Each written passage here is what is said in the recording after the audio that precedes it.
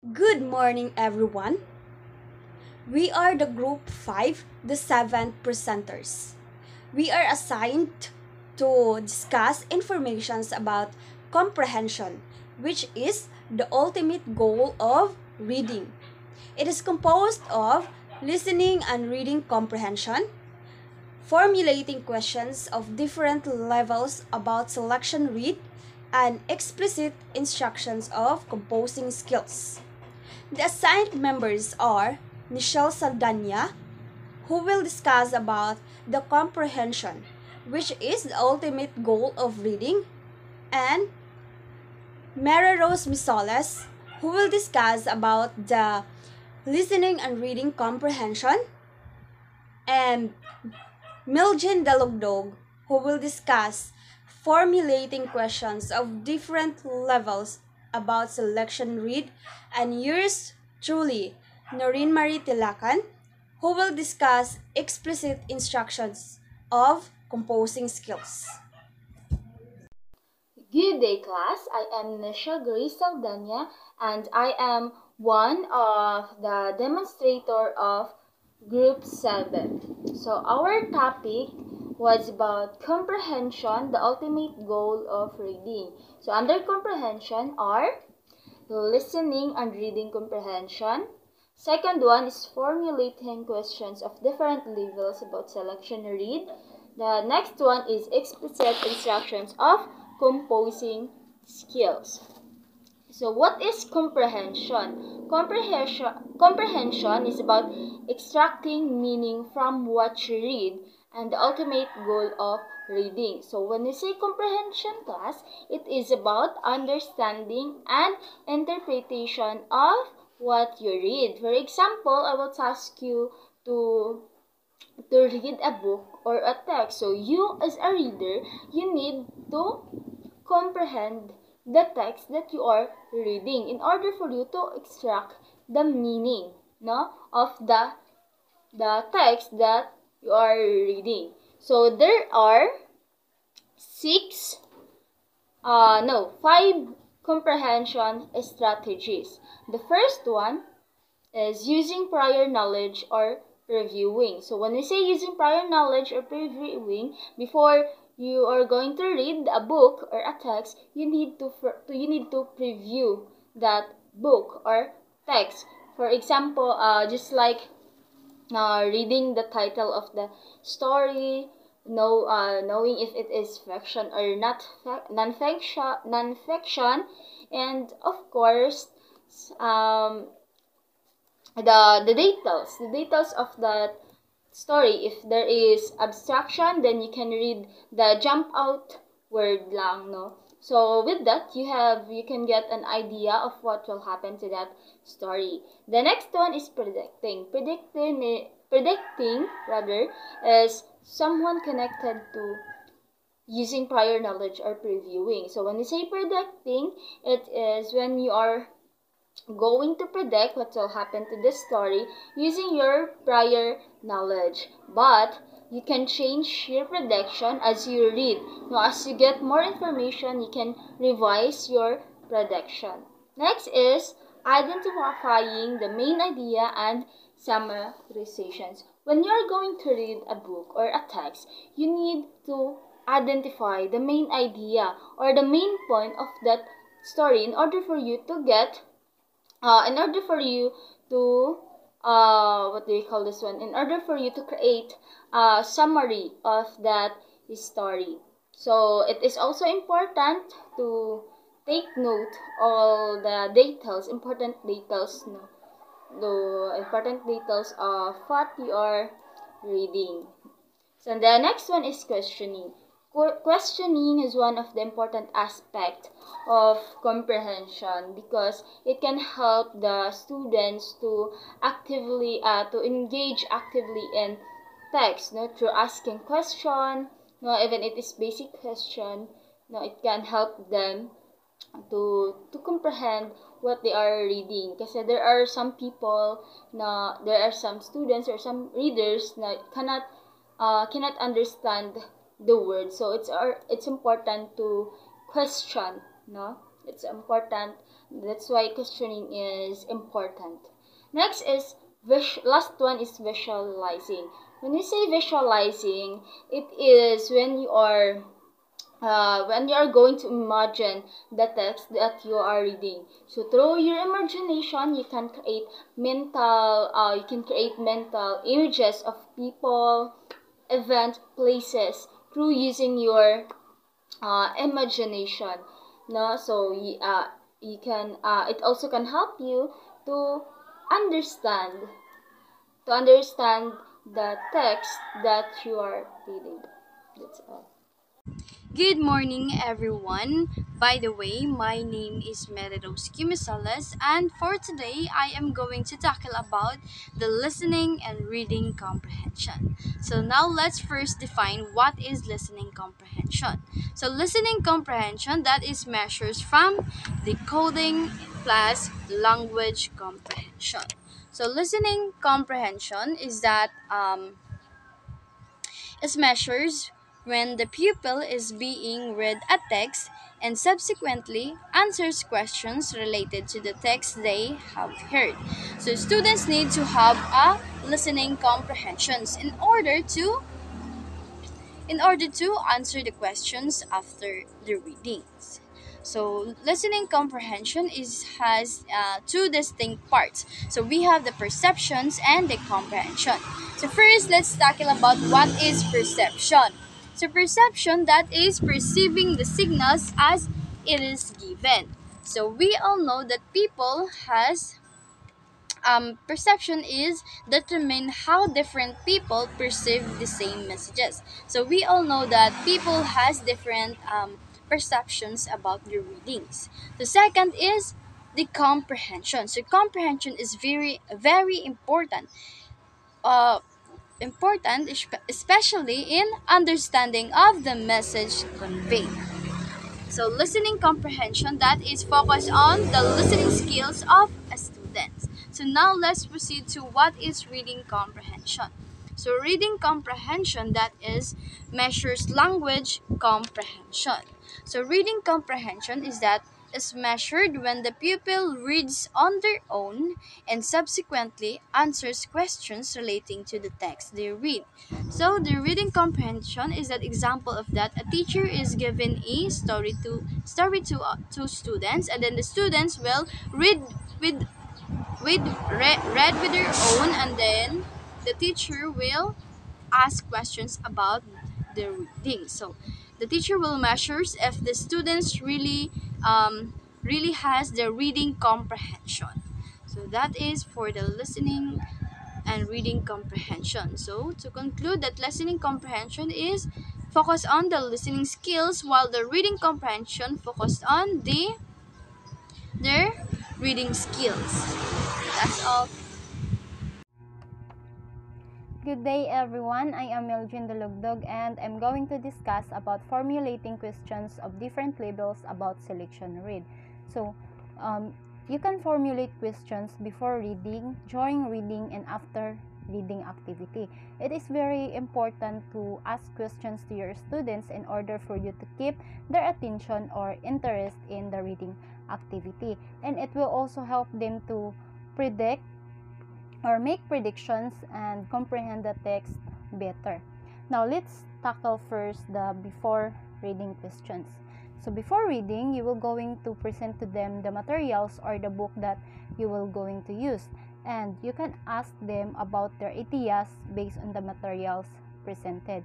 You can ask them if it is a fiction or a non-fiction and you can also ask them um, about what might the problem that the main character might face based on the title or based on the cover of the book. So the following are the before reading questions or the possible before reading questions. So first we have do you think this is a fiction or non-fiction text and why? Second, we have based on the title or book cover, what problems do you think the main character characters might face? Third, what are some possible solutions? So after you are go- you will going to ask them about what might the problems that the main character might face. You can um, also follow up the question with what what are some possible solutions? So fourth question is what clues has the author provided for you in the title and illustrations? And the fifth one is what are you wondering about so these questions are um, the possible questions that you can ask your students or your pupils before reading so you can ask them these questions just based on the cover of the book or the title of the book. Now let's proceed to during reading questions.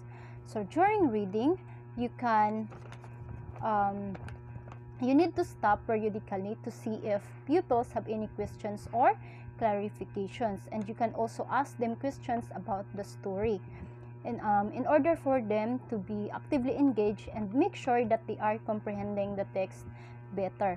So the following are the possible questions that you can ask them during reading.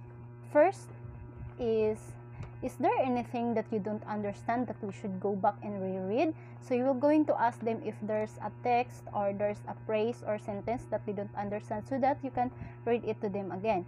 Second, what illustration do you think will be on the next page? Why? So based on the current page that you are reading or um, yes, based on the current page, you will ask them what what um, they think will be on the next page. And then third one is what details have been important to the story so far. So you can also ask them the, the important details that be here or um, yes you can ask them the details or the, the important data, details that they think it is important and the fourth one is how do you think this text will end and why so these um, questions are the possible questions that you can ask them during reading. Next is after reading questions.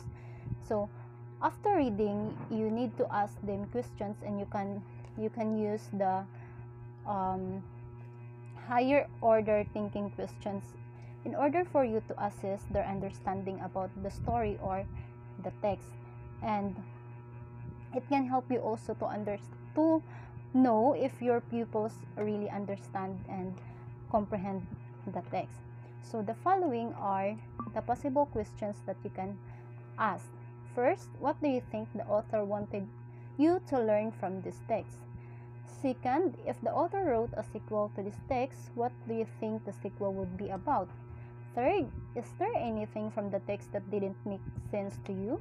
And fourth one is think about an unusual detail in the text. Why do you think the author included it?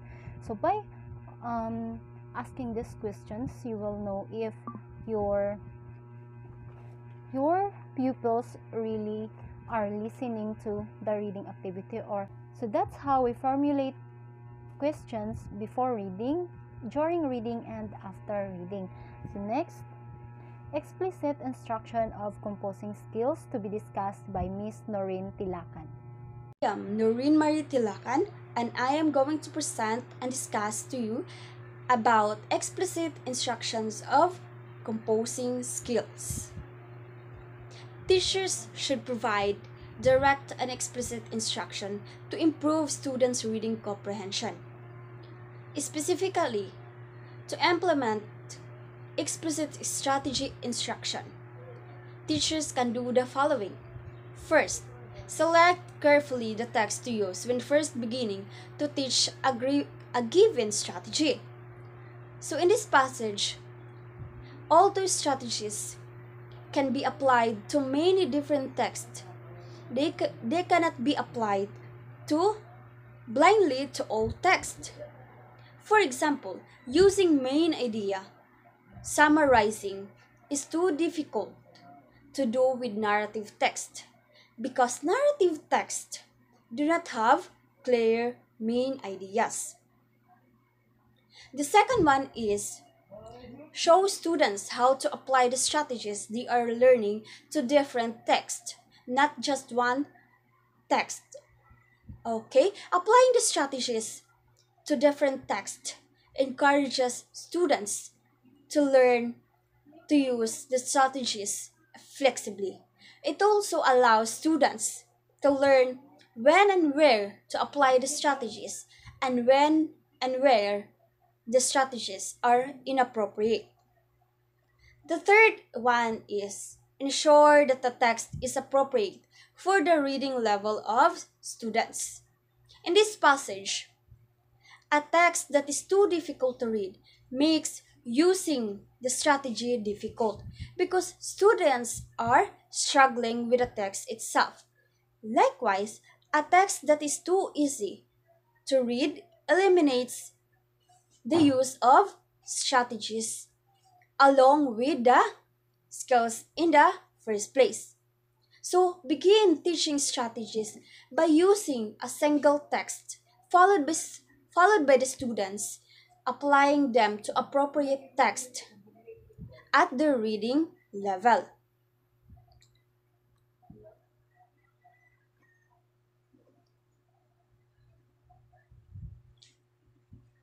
The fourth one is use direct and explicit instruction for teaching students how to use comprehension comprehension strategies.